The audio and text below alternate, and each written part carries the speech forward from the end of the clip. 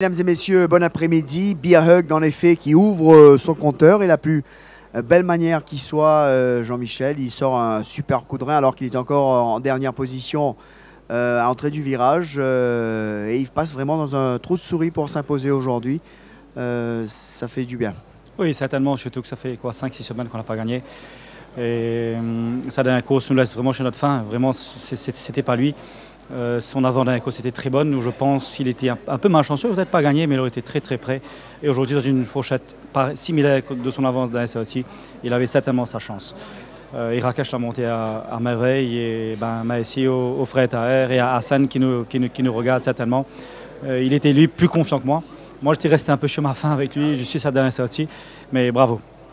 Alors, euh, Rakesh Bagherotti, Jean-Michel, qui lui, à chaque fois vous avez l'occasion, euh, qu'il a pour briller sous vos couleurs, il ne se fait pas prier, comme on dit. Oui, certainement. Rakesh, ça fait longtemps qu'on travaille ensemble de- depuis. euh, je crois qu'il a commencé avec moi, chez, chez mon papa. Et on s'entend bien. Je crois qu'il écoute les instructions à la lettre et ça se passe très bien. Alors, euh, c'est vrai que quand on regarde la carte aujourd'hui, on peut espérer mieux, euh, Jean-Michel. Euh, quel est un peu l'état d'esprit de, de votre côté? Écoutez, on a, on on était, un- on n'a pas gagné depuis 5 semaines, je crois, ou 6 semaines. Euh, Il y a le doute hein, qui pèse, mais là, ça fait plaisir de, de- de gagner avec Behud d'une belle façon. On a euh, Waybreaker qui, est- qui est bien, on a Bariton qui est très très bien. Il ne faut pas négliger Ernie maintenant. Euh, nos choses sont bien. Euh, on, va, on va faire le maximum pour apporter le plus de causes possible aujourd'hui.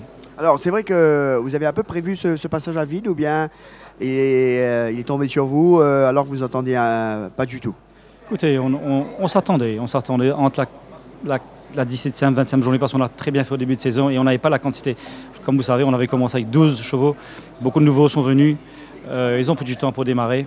Et bon, on a eu un peu de malchance avec Prince Latéral, avec Bariton la dernière fois, avec pas mal de chevaux où franchement on, se- on est second, troisième et on n'a pas eu de chance. hein. Mais bon, ceci dit, la chance, il faut, il faut la saisir et là on a une mauvaise ligne, mais on a, on a pris quand même, on a gagné quand même.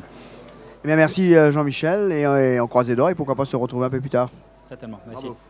Donc voilà les impressions de Jean-Michel Henry. La confiance est de mise aujourd'hui. C'est vrai qu'ils ont quelques belles cartes à jouer. Euh, on va suivre tout ça avec beaucoup d'attention. Mais sur ce, on va bien sûr retrouver Jug et Raji. C'est à vous, messieurs.